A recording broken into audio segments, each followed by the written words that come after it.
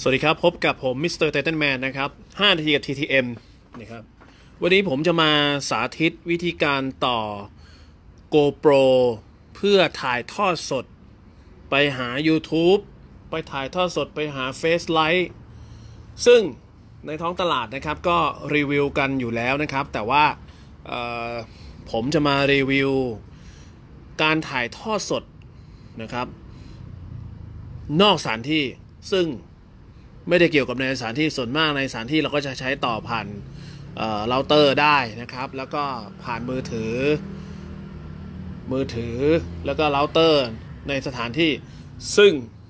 จริงแล้วมันก็สามารถต่อได้ที่ไหนก็ได้ที่มีเราที่มี Wi-Fi นะครับ ข้อมูลเชิงละเอียดนะครับ ที่ผมอยากจะแนะนำก็คือว่าให้ไปดูที่สำนักของพี่ไบอาเซไฮนะครับ นี่คือออการรีวิว GoPro แบบ ละเอียดยิบเลยสำหรับของพี่ไบอาเซไฮนะครับ ของผมนี่จะเป็นการรีวิวแบบเจาะจง เฉพาะการถ่ายทอดสดนะครับ ถ่ายทอดสดเฉพาะเลยนะฮะ ซึ่งผมก็ไปเรียนรู้วิชานี้มาจากพี่แบงค์นี่แหละ แล้วก็จะบอกว่าใครก็ตามที่อยากรู้เรื่องโกโปรแบบละเอียดยิบนะครับ แบบยิบเลยนะ เป็นการอธิบายทั้งเชิงของเทคนิคทางวิชาการเทคนิคของสเปคเครื่อง แล้วก็มีเขาเรียก ทางกายภาพอะฮะก็คือไปไปรีวิวนอกสถานที่คือการใช้งานจริง คือรีวิวข้อมูลเฉพาะตัวของ GoPro แล้วเนี่ย ก็ยังรีวิวอุปกรณ์ที่จะต้องมาใช้กับ GoPro แล้วก็การรีวิวนอกสถานที่ที่ใช้จริงจากข้อมูลทางเทคนิคที่อ้างถึงนะครับเนี่ยที่ตามเนื้อหาของ GoPro ที่เขามีสเปคไว้ให้ ส่วนผมจะมารีวิวการใช้งานแบบ YouTube ถ่ายทอดสด Facebook Face Live Face Live ไปเลยนะครับ แล้วก็ YouTube ด้วยซึ่งเอาละครับ เรามาเริ่มกันเลย อันดับแรกครับ เราก็ได้ GoPro มา ผมก็มี GoPro 2เครื่องเห็นไหมฮะ นี่คือเครื่องที่ 1 เครื่องที่ 2 เห็นไหมครับ 1 2 ผมก็กระตุ้นการทำงานปกติครับ เปิด on on GoPro มานะครับ on ด้านข้างกดค้างไว้นะครับ on GoPro เสร็จปุ๊บ ผมก็รูดปื๊ดครับ รูดลงมาอ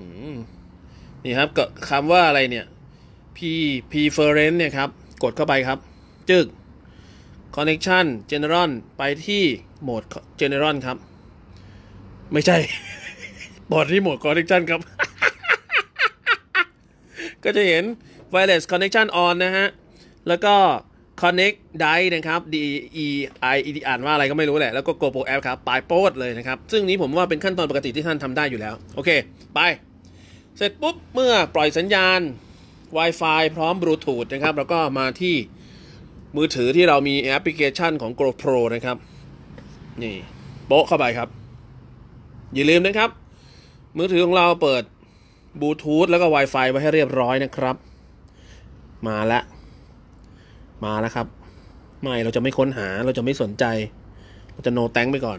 ไปที่สามขีดเนี่ยฮะซ้ายมุมบนกดครับปื้ดเข้าไป กดคาเมล่าครับปื้ดเข้าไป เห็นไหมฮะ ผมมี GoPro สองเครื่องเห็นไหมครับ นี่ เพราะฉะนั้นลืมแล้วอะ GoPro one ครับ กดเชื่อมสัญญาณครับ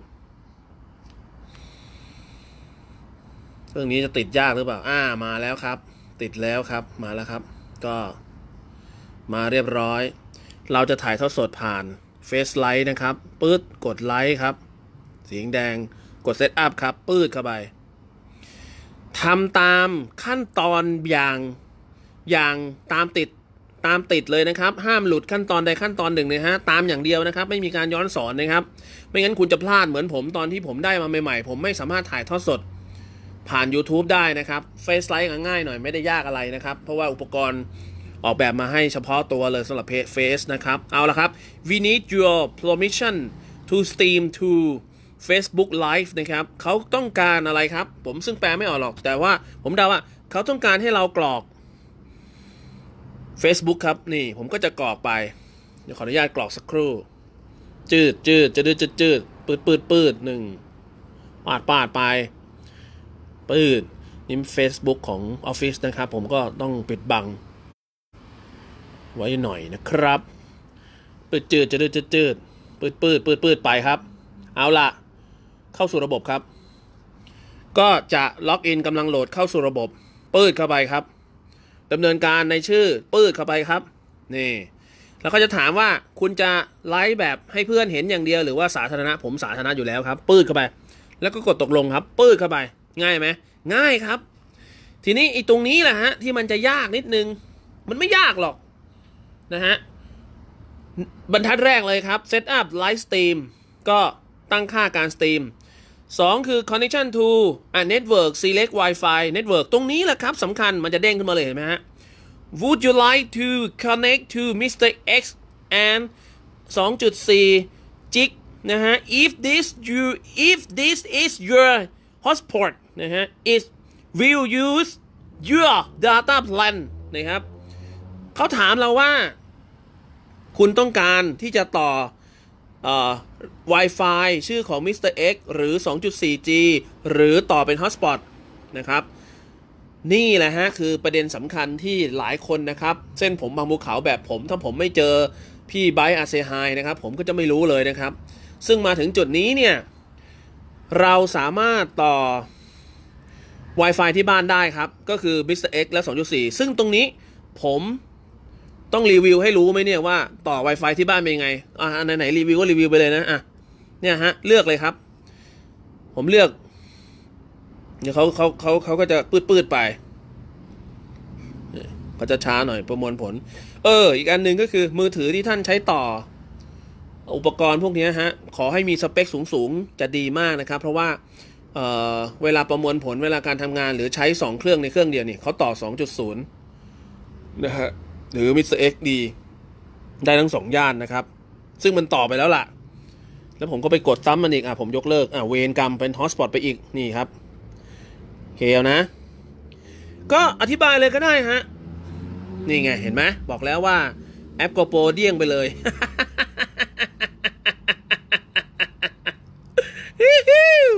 เอาละครับ เขาก็จะ ตัวมือถือเขาก็จะหาสัญญาณ Reconnect ครับ กับ GoPro เองมาแล้วซึ่งอย่าไปตกใจครับว่า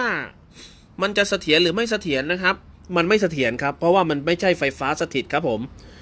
ปื้ดเข้าไป set up เหมือนเดิม set up ครับ แน่นอนฮะเขาก็จะค้นหาเห็นไหมฮะเขาจะค้นหาสัญญาณอินเทอร์เน็ต เราก็ตอบตกลงไป นี่คือการต่อผ่านเราเตอร์ที่บ้านนะครับ โอเคไหม เมื่อเจาะจงเสร็จปุ๊บเขาจะบอก ไอตัว share to เนี่ยนี่เห็นไหมฮะเขาให้เราเลือกซึ่งเราเลือกไปแล้ว ผมขอย้ำนะครับ ต้องเลือกก่อนหน้าที่จะเข้ามาหน้านี้เมื่อกี้นี้ที่ผมเลือก เพราะไม่งั้นเมื่อท่านมาเลือก Public หน้านี้ เท่าที่ผมทำมา มันไม่ถ่ายทอดสดแบบ Public มันจะถ่ายทอดสดแบบแค่เฟรนนะครับโอเคนะฮะตัวนี้ก็คืออ่าทดสอบครับรีวิวรีวิวนะครับ Go Pro ถ่ายทอดสด แบบ Facebook แบบ Face Live แล้วกันเนาะและ Tube Live หรือ YouTube เนี่ยนะครับ YouTube Live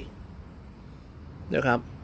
รีวิว GoPro ถ่ายทอดสดแบบ Face Live และ YouTube Live นะครับ นี่คือ Give your a stream a title นะครับ ก็ค่าพวกนี้ผมผมไม่ได้เลือกนะฮะ นี่นี่เวรกรรม นี่ฮะ รีวิว GoPro ถ่ายทอดสดแบบ Face Live และ YouTube จะตั้งก็ได้ไม่ตั้งก็ได้นะครับ จะตั้งก่อนเลยก็ได้ไม่ตั้งก่อนเลยก็ได้นะฮะ ปุ่มนี้ก็คือปุ่มที่จะเวลาที่ท่านถ่ายนะครับ ถ้าเรากด on ไว้ทางเอ่อ GoPro ที่มี SD card อยู่ในเครื่องนะครับ เขาก็จะบันทึกในขณะที่เราไลฟ์ไปด้วยนะครับ ซึ่งผมจะไม่บันทึกนะครับ เอ๊ะหรือบันทึกดี ดีบันทึกด้วยแล้วกันจะได้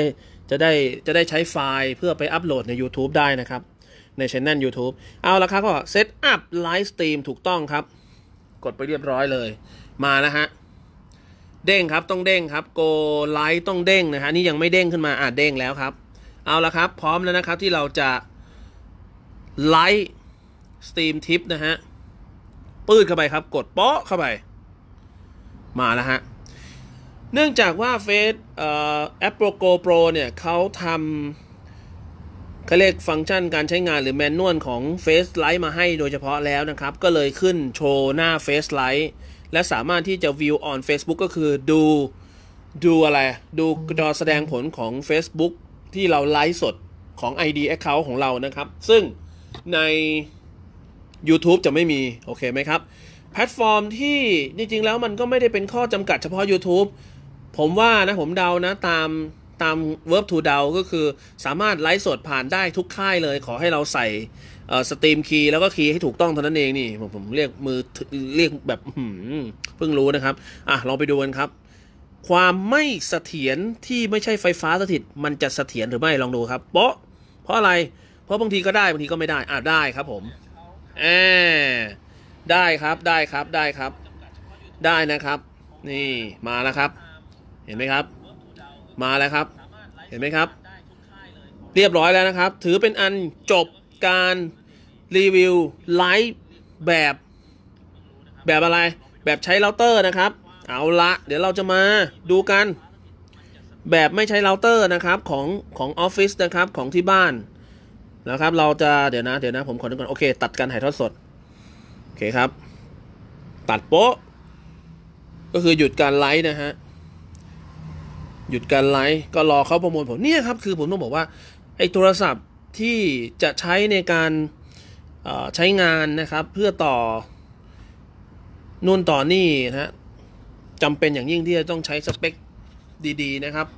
เห็นไหมค้างไปเลยนะครับ ค้างไปเลยแล้วรอยาวด้วยเฟซไลท์ก็ยังไลฟ์สดต่ออยู่นะครับ โอ้โห เป็นไงครับ ยาวเฟ้ยเลย ผมก็จะมีฟังก์ชันปิดแบบข่มขืนนะครับปื้ดเข้าไป ปิดแบบบังคับปิดโป๊ะเข้าไปนี่ เอาละไปที่โกโปรต่อ ทีนี้จะเป็นการเชื่อมสัญญาณนะครับ เป็นการเชื่อมสัญญาณ เห็นไหมค้างไปเลยแข็งไปเลย เชื่อมสัญญาณผ่าน ผ่านมือถือเครื่องนี้แหละนะครับ แล้วเป็นฮอสปอตไปครับ เชื่อมสัญญาณ GoPro One นะครับ LPE GoPro หมายเลขหนึ่งนี่ฮะ ยาวแล้วแฮงไปแล้วเครื่องนี้ เห็นไหมครับ แฮงละแฮงละแฮงละ ได้ไหมได้ไหม ถ้าไม่ได้ผมบังคับปิดนะ อ่าบังคับปิดครับ โป๊เข้าไป นี่คือนี่คือจะต้องเลือกใช้ ดีผมใช้เครื่องนี่นะกดมือมือไวไปมากเลยเห็นไหมครับปื๊ดปื๊ดปื๊ดกโปรอะไร โกโปรวันถูกต้องมาครับแคมเมล่าครับ ขีดที่สามGoPro on ครับ เชื่อมครับปื๊ดปื๊ดผมก็ไปกระตุ้นเหมือนเดิมครับ เห็นชัดไหม ไม่ชัด ชัดไหม สะท้อนแสงบอจะชัดบานนี้เครื่องติดไปแล้วครับ ติดแล้ว เอาล่ะ ตรง setup เนี่ยครับ เดี๋ยวนะ เอาล่ะ ตรง setup ตรง setup นะครับ นี่นี่นี่ setup live กดเข้าไปครับ เดี๋ยวก่อนนะ ผมขอลองกด Facebook ก่อนปื๊ดนี่ไง อ่ามา เอาใหม่นะครับ เราจะ เฮ้ย เดี๋ยวก่อนดิ เราจะแนะนำการต่อเฟซไลท์ผ่าน ผ่านผ่านผ่านผ่านผ่าน hotspot ก่อน โอเค เราก็ไปที่ live setup live ครับ นี่แหละฮะ คือจุดที่เส้นผมบังภูเขา ที่ผมโหหลงตำหนิ GoPro ไปหลายรอบเลยนะ GoProว่าเอ๊ะ มันต่ออะไรยังไงแบบไหนนะฮะ จนผมไปเจอพี่แบงค์นะฮะพี่ไบค์นะครับ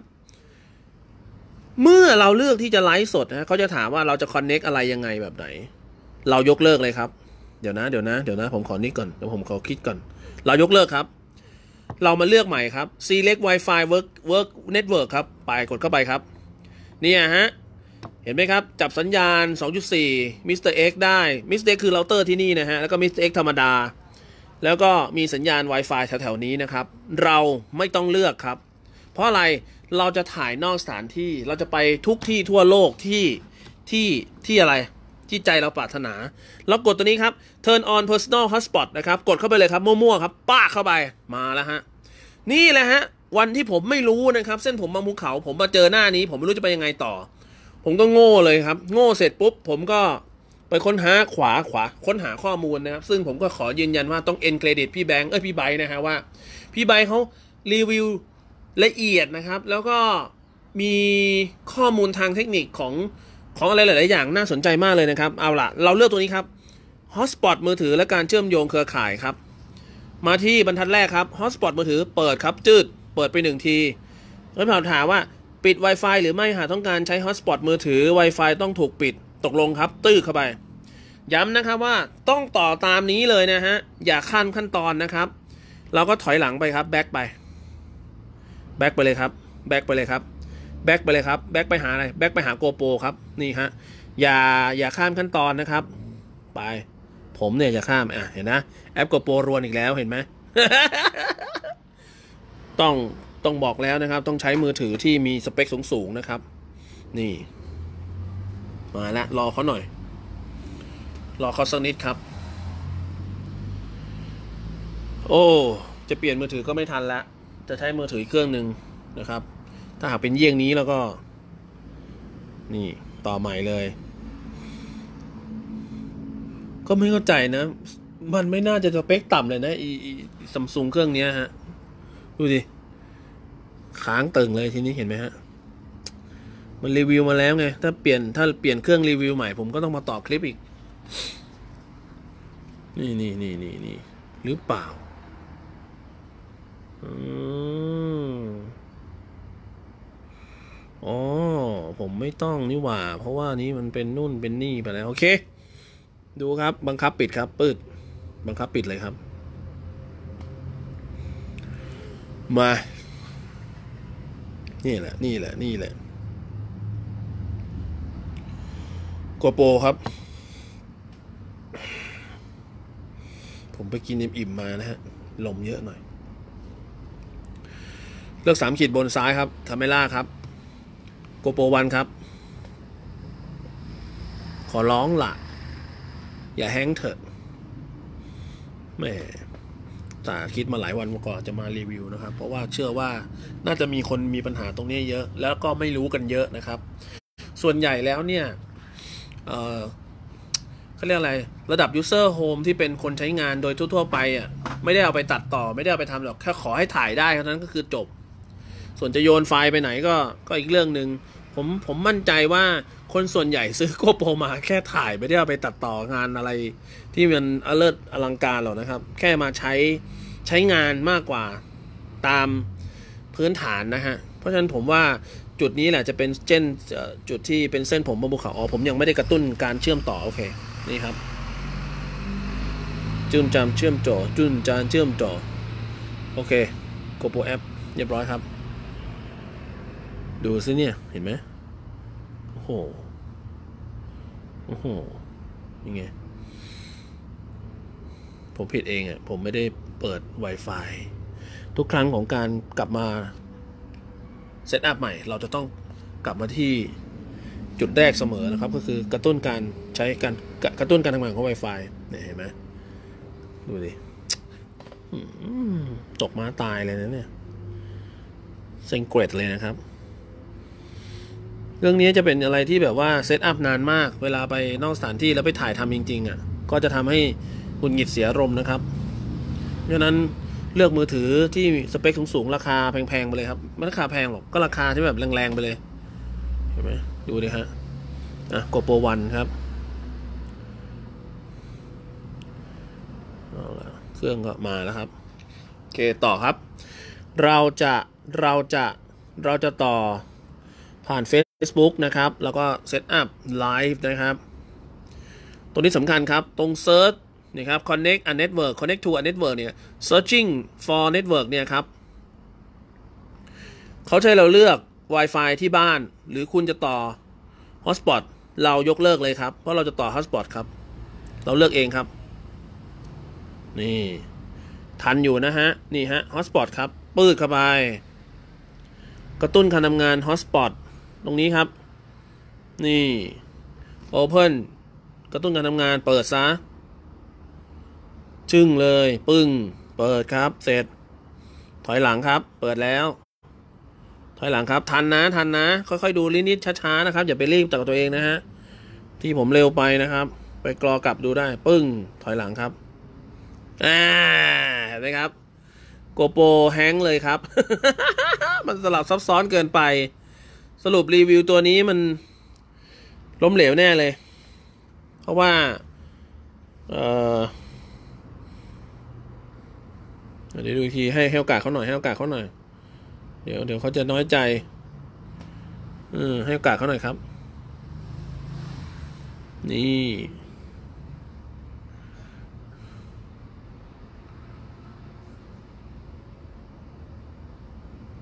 อืม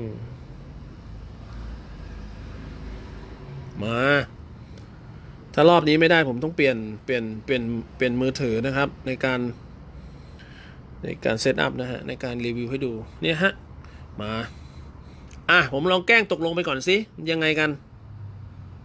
ลองแกล้งตกลงไป เดี๋ยวเขาก็จะเชื่อม เชื่อมแล้วผมว่าน่าจะไม่ได้นะฮะ ผมคงต้องเปลี่ยนมือถือจริงๆ เอาล่ะ นี่ไงจริงด้วย เขาเลือกใช้ 2.4 นะครับ ซึ่งเป็นเราเตอร์พื้นฐาน เอาเป็นว่า ผมจะเลือกใช้ Hotspot ครับ เพราะอะไร เพราะอะไร เพราะเราต้องไปนอกสถานที่ครับ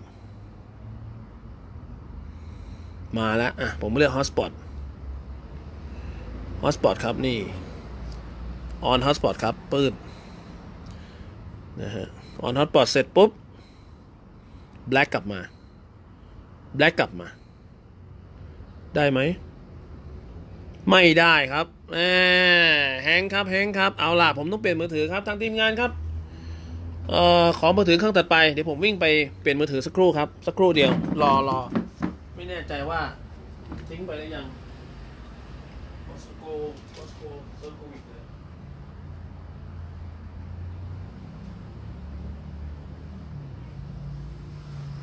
โอสโกเซอร์โควิด เอา ละเราได้มือถือท่านที่สองมาจะเสียหายหรือไม่ครับ มาดูกันครับนี่ฮะปืดปืดสามขีดบนครับ ปืดแคมเมล่าครับ ก็ดีเหมือนกันนะทำทำหลายๆครั้ง จะได้กลายเป็นรีวิวหลายๆรอบ โอเคครับมาแล้วฮะโกโปวันครับ มาแล้วครับโอ้ไวมาก ก็ไลฟ์เหมือนเดิมครับ ไลฟ์ปื้ดเข้าไปครับ จืดเข้าไป เอาละนี่ก็คือเหมือนเดิมครับ เขาขอให้เราใส่ปลายทางนะครับหรือ ID account ที่เราจะไลฟ์นะครับ เดี๋ยวผมขออนุญาตใส่สักครู่ โอ้ my gosh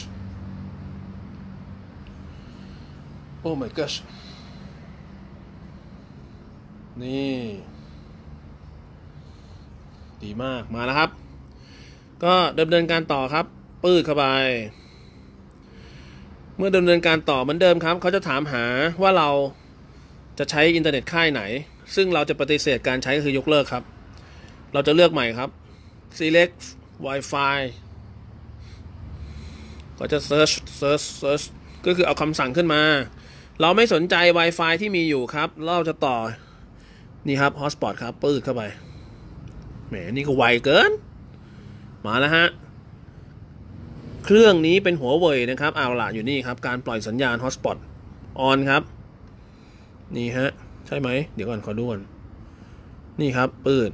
หัวเปิดหัวเว่ยครับ ปืดเปิดครับ on on on on ครับ on on แล้วปุ๊บเราถอยหลังครับเอ้ผมจำค่าเครื่องนี้ได้หรือเปล่าวะเนี่ยรหัสผ่าน hotspot นะฮะมาแล้วครับ เขาก็จะจับสัญญาณหัวเว่ยครับ เดี๋ยวดู เดี๋ยวดูครับผมจะเสกเขาว่าหัวเว่ยครับ นี่ไงครับ ผมหัวเว่ยโป๊ะเข้าไปนั่นไงเอ๊ะเดี๋ยวก่อนนะ ผมขอดูหน่อยว่า passwordอืมอืมสามสี่ห้าหกเจ็ดแปดตกลงครับ ดูซิจะผ่านไหมครับ รหัสผ่าน คือ hotspot เนี่ยนะครับ จะต้องมีชื่อ มีชื่อของ hotspot แล้วก็มีรหัสผ่าน password you enter incorrect โอเค ผิดครับ แล้วผมเคยตั้งไว้ว่าอะไรเนี่ยผมลืมแล้ว หนึ่งสองสามสี่ห้าหกเจ็ดแปดโอเค ดูซิได้ไหม น่าจะได้แล้วนะ ครั้งนี้นะ โอเค ผ่านครับผม ก็เหมือนเดิมฮะ เราต่อเป็น hotspot ของ Huawei ซึ่งเป็นมือถือเครื่องเดียวกันนี่แหละ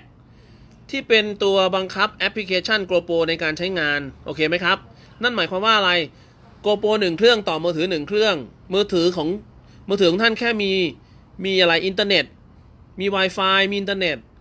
นะครับ จะนอกหรือในสถานที่ไม่มีปัญหาแต่เนี่ยฮะเส้นผมพองภูเขาคือ GoPro หนึ่งเครื่องใช้ได้กับมือถือหนึ่งเครื่องครับผมเดิมเนี่ยทีเดียวผมก็นึกว่า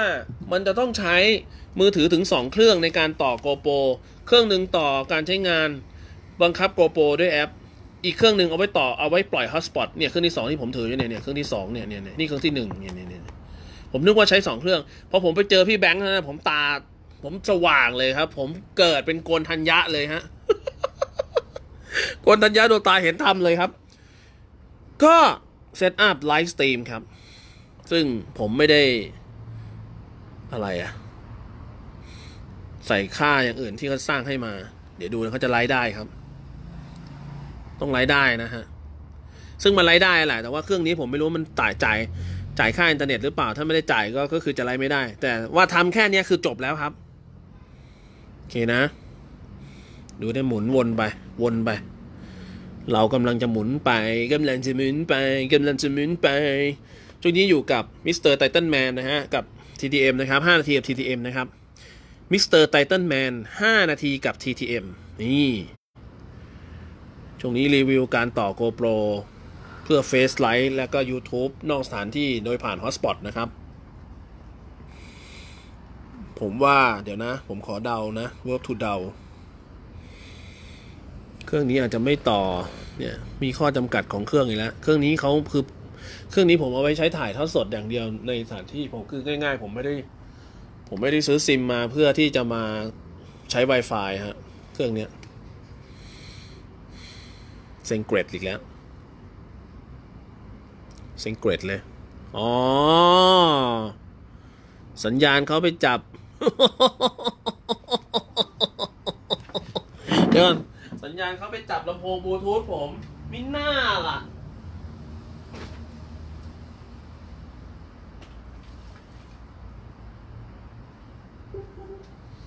เส้นผมบางบัวขาวอีกแล้ว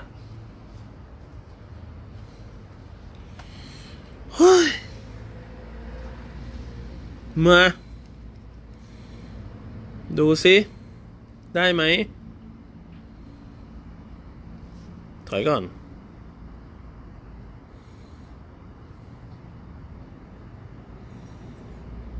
ถอยครับ อ่าถอยผมถอย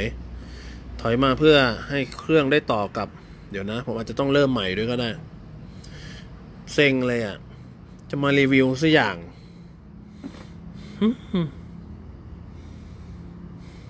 สวัสดีครับ คุณวิหก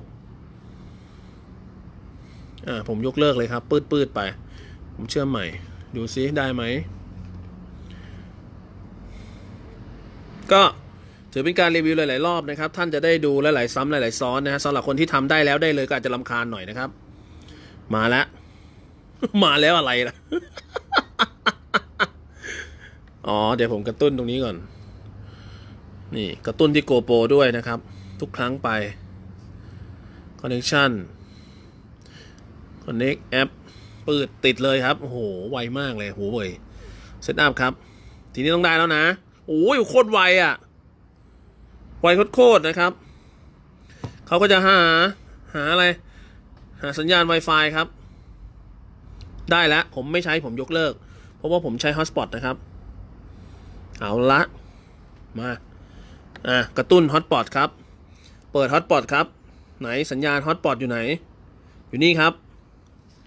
กระตุ้นครับ เปิดครับ เปิดครับโหวยครับ ชื่อโหวยครับ เปิด เปิด ดูทันนะครับ ย้อนครับ ย้อนครับ ย้อน มาแล้วฮะ ย้อนปุ๊บ คราวนี้แหละเขาต้องจับหัวเว่ยครับ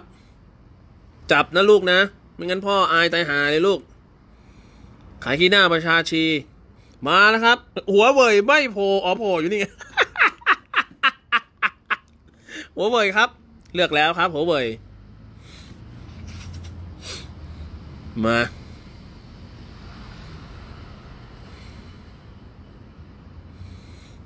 นี่ setup live stream ครับ ปืดเพราะจับหัวเว่ยไปแล้วครับ นี่นะฮะ จับหัวเว่ยไปแล้วครับ ดูนิ้วชี้ผมหืมเล็บดำเชีย หมุนต่อไปเรื่อยๆถ้าไม่ได้นี่ก็ไม่ได้ตัวนี้ก็เป็นเรื่องนะครับ ต้องเปลี่ยน เปลี่ยนตัวนะฮะ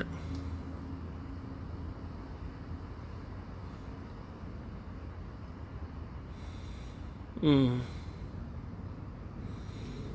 ยาวนานละเซงเกรดละ อื้อห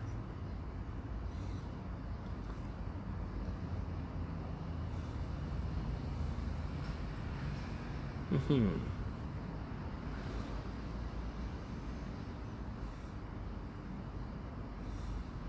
ป็นนั้นว่ากว่าจะรีวิวได้เนี่ย กว่าจะทำให้คนอื่นรู้ตามได้เนี่ย มีข้อจำกัดเหลือเกินอยอมยอมยอม ผมจะต้องเปลี่ยนมาเป็นมือถือส่วนตัวผมนะฮะ ซึ่งมีสเปคสูงกว่า ในการเชื่อมต่อนะฮะ เดี๋ยวเราไป ลิปต่อไปเลยแล้วกันนะครับสำหรับคลิปนี้ก็ เนี่ย พอพอเขาเด้งเขาเด้งมาหน้านี้แหมไอ้ขี้ขายขี้หน้าอะไรนะครับ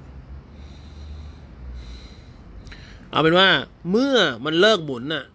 ข้างล่างเนี่ยบรรทัดนี้ครับ มันจะเป็นสีฟ้าบอกว่า go light นะครับ